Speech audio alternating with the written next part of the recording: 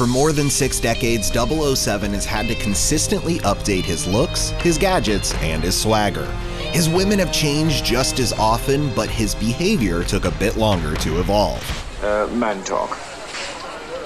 Now, for a 25th film, James Bond will continue to develop thanks to these badass ladies keeping him in line and up with the times. This never happened to the other fella. So, on this IMDb brief presented by Progressive, let's look at the evolution of the women who love the spy and hear from four who co star with Daniel Craig in Bond 25. Stay where you are. I can assure you my intentions are strictly honorable. I can assure you, they aren't. When Ursula Andress first graced the screen in 1962's Dr. No, she set standards for Bond woman beauty that are still in place today. Even if she wasn't given much to work with in the character department, and not even able to use her own voice. In fact, Nikki van der Zyl provided the uncredited vocals for six of Bond's early loves from Sylvia Trench. Oh, I hope I did the right thing. You did the right thing. all the way through Moonraker's Corinne Dufour in 1979. You presume a great deal, Mr. Bond.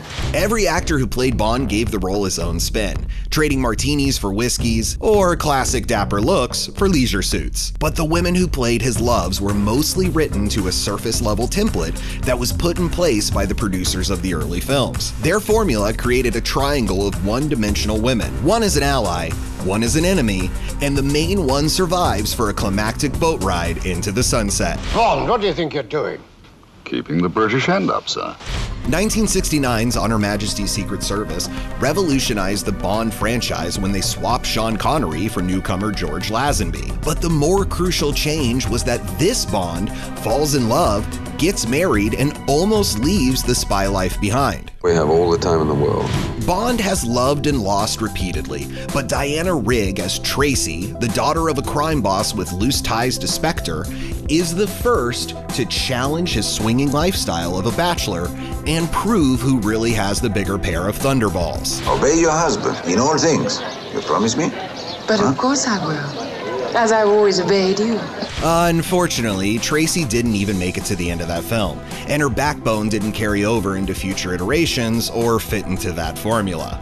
Until Daniel Craig's soft reboot of the franchise that introduced Léa Seydoux as Dr. Madeleine Swann in 2015's Spectre. You shouldn't stare. Well, you shouldn't look like that. 007 will always be a cad, but Dr. Swann is not just a damsel in distress, which is in part why her character was irresistible. a new kind of Bond girl, maybe more um, complex and another vision of, of women. I was surprised when I was cast. I was very happy, but but surprised. Yeah, something has changed, and I like the fact that I'm not a sexual object. Dr. Swann will be only the second love interest to survive from one film to the next, but her similarities to Diana Rigg's Tracy, including a father with connections to Spectre, make us believe that the odds are not in her favor for this next adventure. It's gonna be very emotional. A number of actresses have appeared in different interchangeable roles throughout the 1960s, 70s, and 80s, like Maud Adams, who is both love interest Andrea Anders in 1974's The Man with the Golden Gun, and later the title role of 1983's Octopussy. Oh, James. We're two of a kind.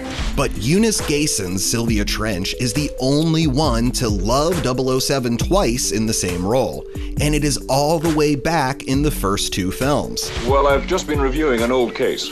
Oh, so I'm an old case now, am I? Shh, it's the office. Suffering through 14 films as Secretary Miss Moneypenny, Lois Maxwell was pawed at by 007 for over 20 years. Her replacements became increasingly slapsticky butts of jokes, until Oscar nominated Naomie Harris was cast in 2012 Skyfall. Not sure I can survive your best.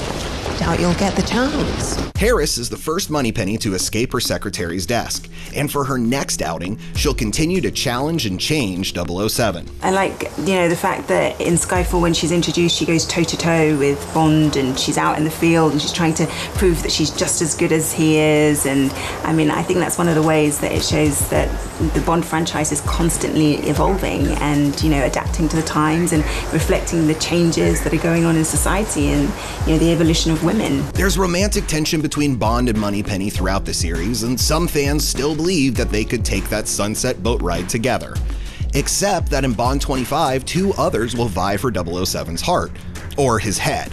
They're both new to the series, so their roles are kept under wraps. But Ana de Armas seems perfect to carry on the tradition of the enemy, the double crossing femme fatale. It is shocking for actresses when you you get that phone call. You want we want you in the Bond movie because it, they felt for me so unapproachable. They were so perfect and fierce and fearless and always like badass and all that. And I think we got to the point of more layers and being more real. They feel like more real women. Like I could relate to what I was reading on the script. Still badass, but, Yeah. but a real woman. While Lashana Lynch, who broke big and heroic in 2019's Captain Marvel, could play an ally that 007 can trust. These are movies that have represented British culture for so long, and they have a winning formula that they're they're able to just keep completely fresh and represent Britain as it should be. And now we get to really roll with the the tide of change with, with women, and hopefully that's where I come in.